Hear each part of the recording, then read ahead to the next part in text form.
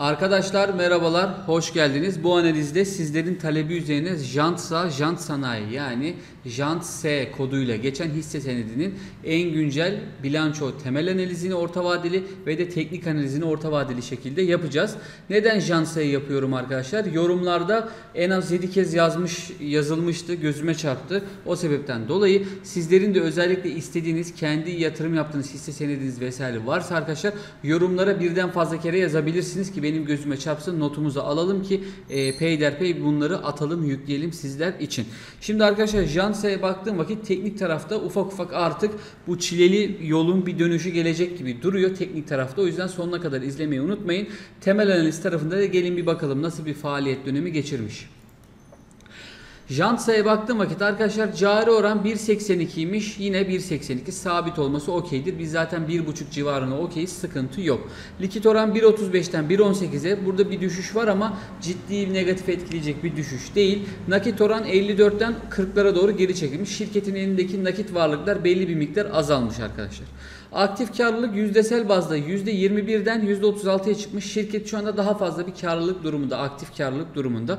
Esas faaliyet kar marjı çeyreklik bazda 15'ten 19'a, yıllık bazda 12.5'tan 19.5'a gelmiş. Yani esas faaliyet kar marjlarında bir artış söz konusu pozitif olduğunu söyleyebilirim. Net kar marjı 18'den 23'e. Bu çeyreklik bazdaydı. Yıllık bazda 16'dan 24'e. Net kar marjlarındaki artış da gayet iyi. Bunu söyleyebilirim.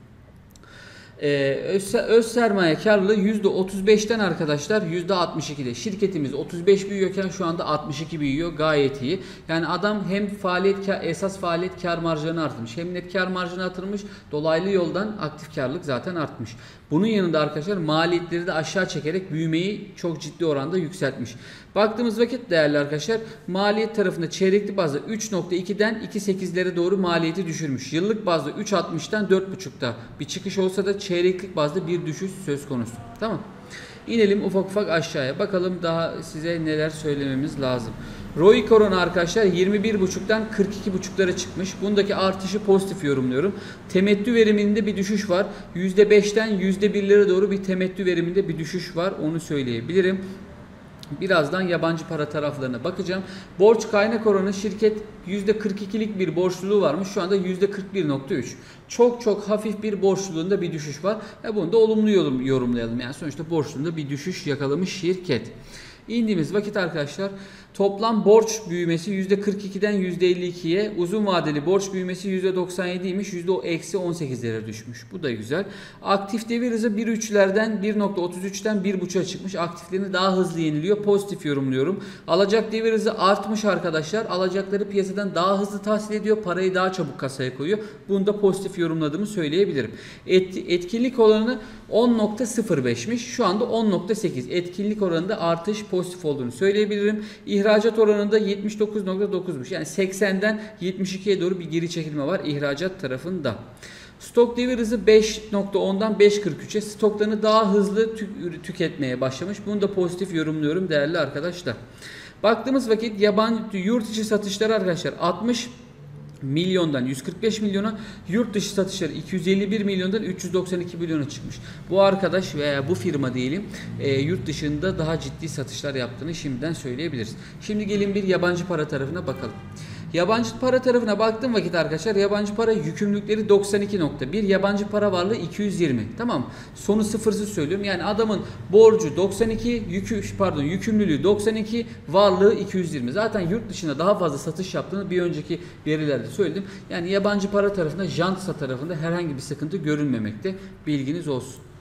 Grafikte baktığım vakit FAVÖK bölü satış geliri 14.5'tan 21'e. Esas faaliyet kar marjı 12.7'den 19'a. Net kar marjı 16'dan 24'e. Öz sermaye karlılığı 35'ten 62'ye. Brüt esas faaliyet kar marjı 24'ten 28'e. Gayet iyi arkadaşlar. Peki jantsa ucuz mu pahalı mı? Evet. Baktığımız vakit değerli arkadaşlar.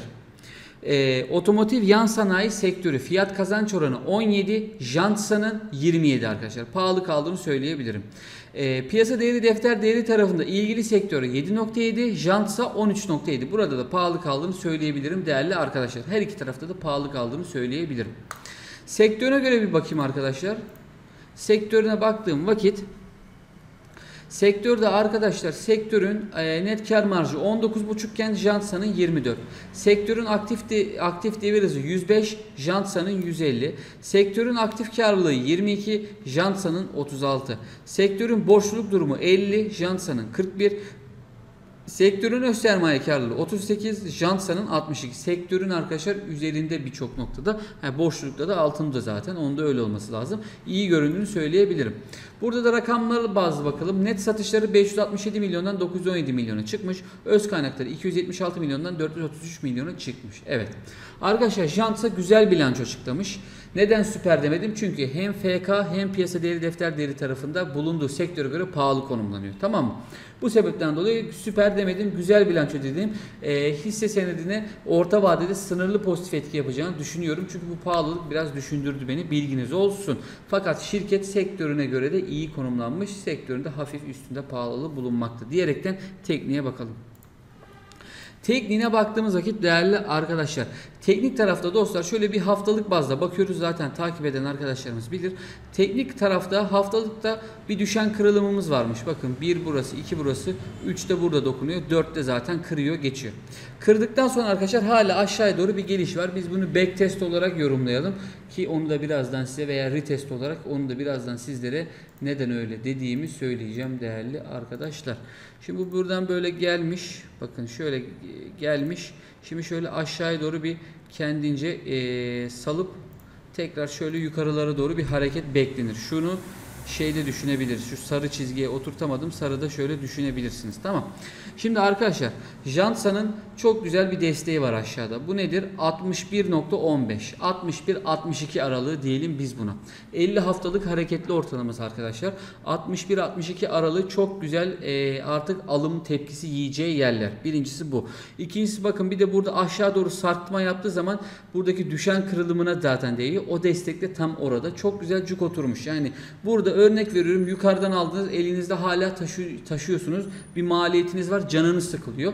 Yani 60-62 lira bu dediğim aralıktan alımlar yapılabilir, ortalamalar düşürülebilir. Direkt desteği beklemeyin. Desteği gelmeden önce burada alım yapılabilir. Yani robotlar olsun, yatırımcılar olsun alım yapar burada.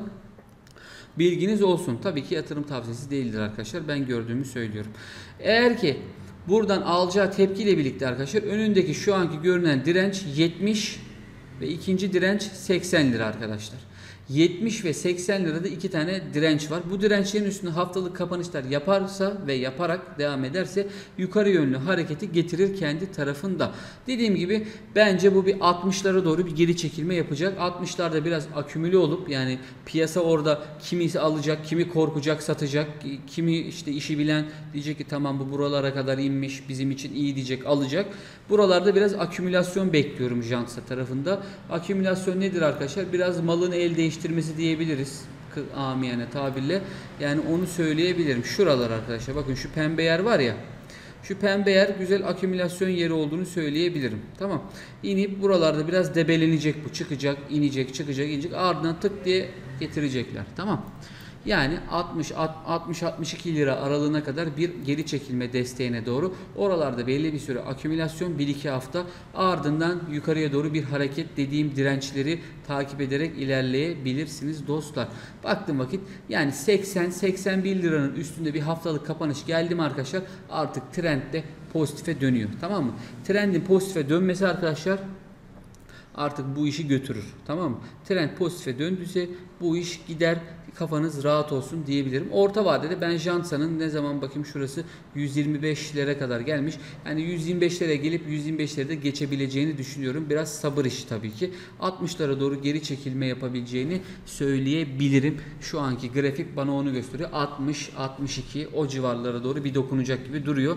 Oralar önemli destek alım noktaları. Piyasa buradan alır arkadaşlar. Buralarda son akümüle olur. Korkan satar yine alan alır. Buralarda toplar. Ardından bir bakmışsınız ki Jansa gelmiş piyasada millet Jansa'yı konuşmaya başlamış arkadaşlar. Bir bakmışsınız ki bu bakım böyle gelir hop şöyle iner hop, hop böyle gelir tamam. Yani buralar biraz böyle jansacılar. Yazı yazdınız bayağı bir. Ben de bir bakayım dedim. Güzel fırsat oldu. Ben de takibi aldım jansayı bundan sonrası için. Yani ne dedik? Temel analiz bilanço tarafı güzel dedik. Güzel bilanço sınırlı pozitif etkiledik. Teknik tarafta artık dediğimiz dönüş yerleri, alım yerlerine yaklaştığını, buralarda biraz da sabırlı hareket edip, mantıklı hareket edip, maliyetliyseniz maliyetinizi düşürmeye, yatırımcı olmak istiyorsanız yatırım yapabileceğiniz noktalardan sizlere tek tek bahsettim. Ee, öndeki dirençlerinden de sizlere söz ettim değerli arkadaşlar. Durum bu. Bunlar yatırım tavsiyesi değildir. Benim kişisel şahsi analizlerimdir. Kendinize iyi bakın. Fırsatları kaçırmayın. İyi günler arkadaşlar.